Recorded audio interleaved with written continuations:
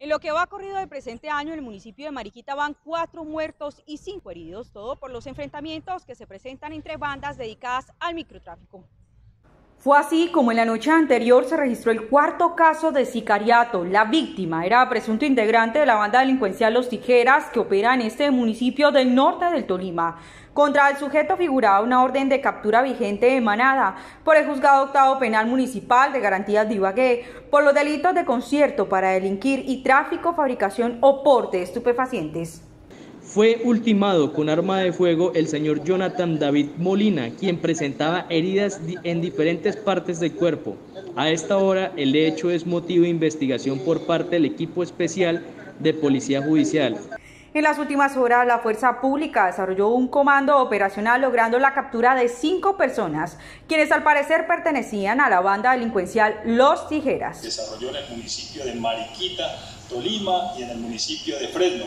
En el primero de los municipios relacionados se logró realizar seis allanamientos con ocho importantes capturas por los delitos de tráfico, porte o distribución de estupefacientes.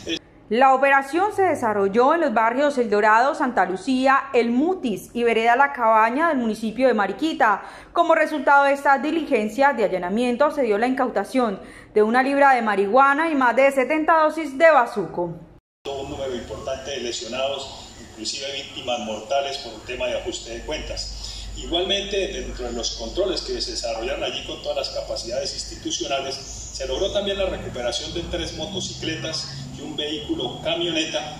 Además, los capturados fueron dejados a disposición de la Fiscalía, donde tras audiencia fueron dejados con medida intramural. Cabe destacar las dos capturas de dos personas integrantes de una estructura criminal denominada Las Tijeras, quienes se encargaban de la comercialización y tráfico de estupefacientes en este sector.